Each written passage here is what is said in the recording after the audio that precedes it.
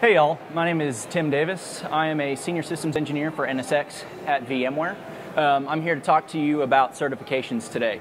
Um, as a quick thing for me, I currently hold three VCAs, three VCPs, two VCAPs, and a VCIX.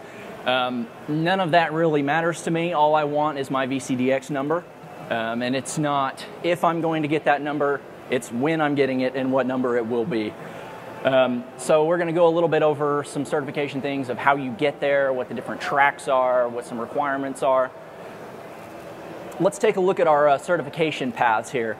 So um, we've got the data center virtualization, cloud management and automation, network virtualization, and desktop and mobility. Um, each one of these is currently set up with the same track. You have your VCA exam, uh, your VMware Certified Associate. This is an online unproctored exam that you can take at your house anytime you want. Um, then you move on to the VCP.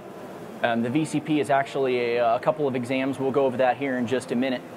Um, from there, you have the VCIX level, and this is actually composed of two different VCAP tests, the design and the deploy exam.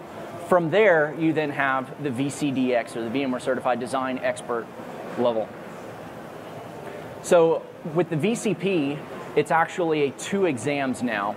You're going to take the vSphere Foundations exam, and you're going to take the specific exam that goes for your track, like DTM, CMA, DCV, or NV. The vSphere Foundations exam, like I said, is taken online at home. It's unproctored. It's 90 minutes.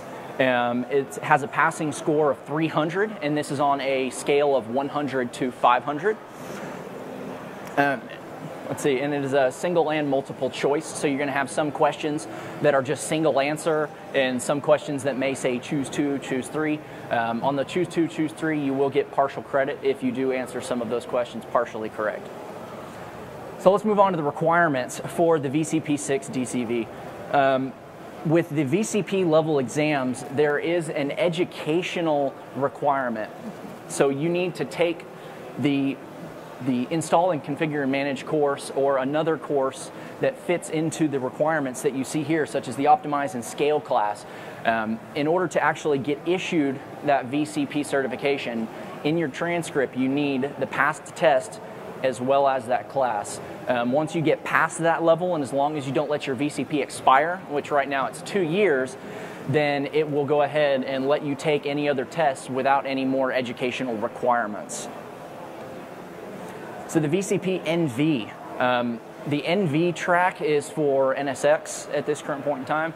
Um, and that actually has a couple of fast tracks. So for your CCNAs and CCNPs, you can skip the educational requirement and take that VCP NV exam without any extra educational requirements.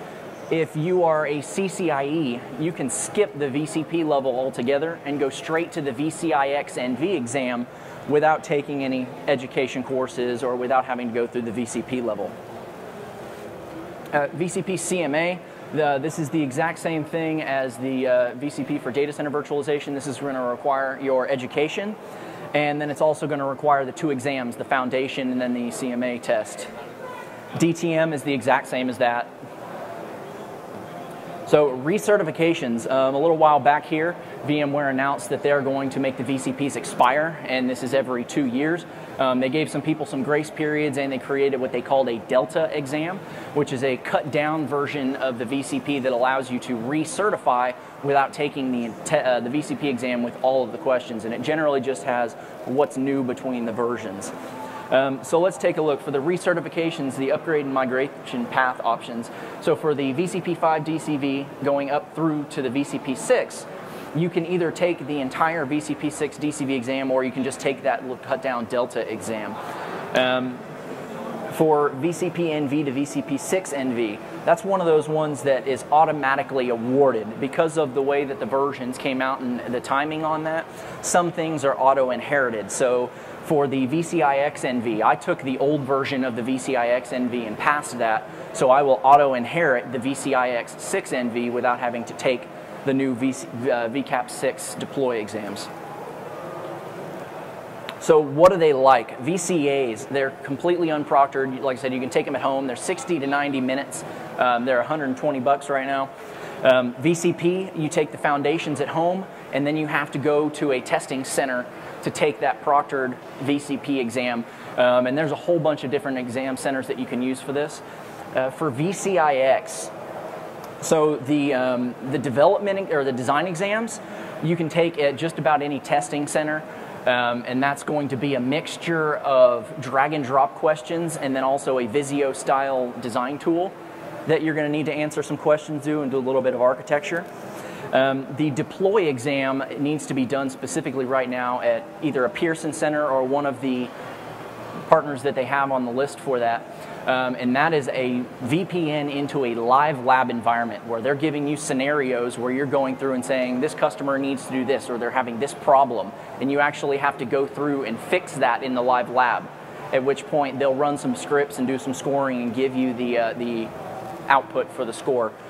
Now, the, uh, the holy grail of the uh, VCDX, this is not an exam. This is a trial by fire, so I've seen. You are going through and creating a design document based off of the VCDX blueprint. Um, you are giving all of the risks, requirements, constraints for all of that project, at which point you have to submit this case and wait a couple of weeks for them to say, is this paper even good enough to go to step two?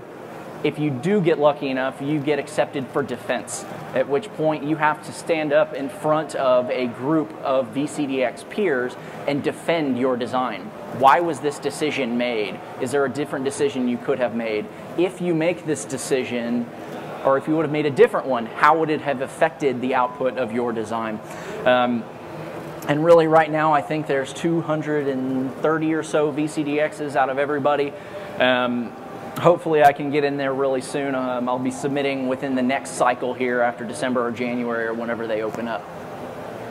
So beta exams, these uh, I'll go over this really quickly. This gives you access to an exam before it goes GA. Um, for VCAP exams that are normally $400, the beta exams for those are only $100. You don't get your results right away, but it's a good way to get your foot in the door for a lot cheaper than a standard GA exam is going to be. VMware Learning Zone, for $500, you get access to just about any training you could possibly want.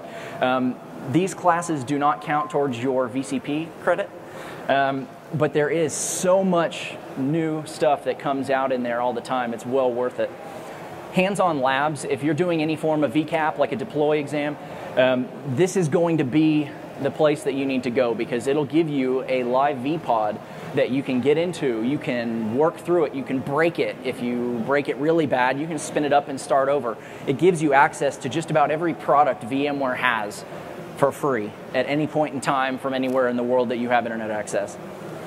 Certification Manager, this is a new thing that VMware's got where you can use their SSO from MyLearn and it gives you your transcripts of these are the classes you've taken, this is how you did, these are all the tests you've taken, and it also gives you access to all of your certifications. These are your you know, certificates where you can print a little PDF of what all you've got. Here's a little picture of it. Education services here at VMworld. Hands-on labs is one of the hugest things we have here. If you want to play with hands-on labs, go do it. They have self-paced labs. You can even sign up for proctored labs where they'll walk you step by step through the product and how you're setting it up and working with it. Um, VMware Education is uh, back there with their lounge where if you have certifications, you can get a nifty little pin to uh, signify I'm a professional, I'm an advanced professional, I'm a uh, implementation expert. If you want to learn more, here's a couple of links to get you where you want to go. And if anybody has any questions or anything, feel free to reach out to me on uh, Twitter at ALDTD um, or generally anybody with, you know, hashtag VCDX on Twitter. Um, most of them seem to be really nice about it. So have a great day.